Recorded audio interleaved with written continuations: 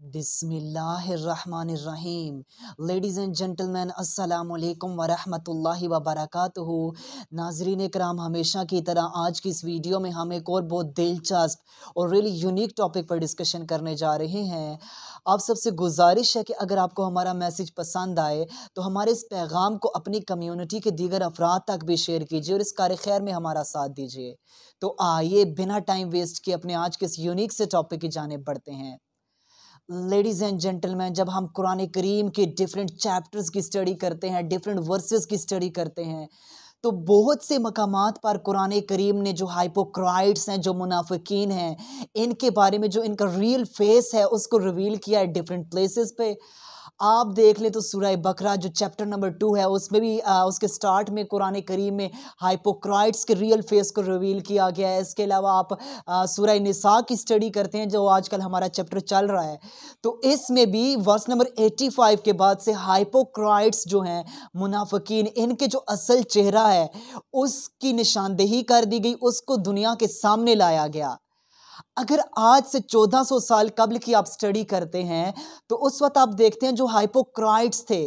ज़ाहिर इस्लाम का आ, स्टार्टिंग इरा था अर्ली उस वक्त इस्लाम आहिस्ता आहिस्ता फैल रहा था अरब के उस स्टेट में आहिस्ता आहिस्ता इस्लाम फैल रहा था। लेकिन इस स्टेट में कुछ लोग ऐसे थे जिन्होंने इस चीज़ का फ़ायदा उठाया। और अपना जो फेस था, अपना जो रियल फेस था, उसको छुपा कर अपना जो फेक फेस था, वो आकर एक इस्लामिक स्टेट में शो करने लगे। यानी कि थे तो वो नॉन मुस्लिम ही, लाए तो वो ईमान नहीं थे। लेकिन जब इस्लामिक स्टेट में दाखिल हुए तो इधर आकर वो अपने आप को मुस्लिम डिक्लेयर कर रहे थे मुस्लिम शो कर रहे थे।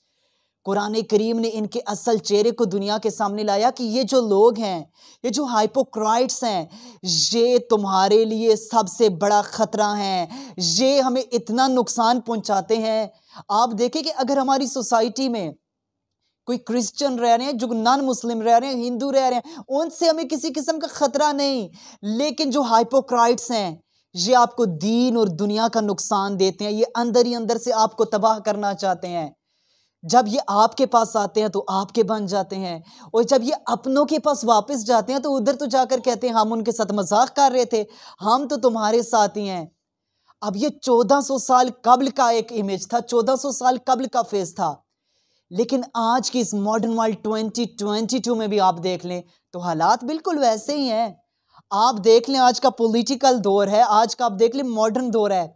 आप हमारे पॉलिटिकल डिपार्टमेंट को देखें आप हमारे अधारों को देखें आप हमारे सिया, सियासी आप हमारे जुडिशरी के निज़ाम को देखें ईच एंड एवरी डिपार्टमेंट में देख लें आप किस तरह से किस तरह से हमारे यहाँ फेक रूप फेक रू का फे, फेक रू, रूप अपनाए लोग आकर बैठ गए।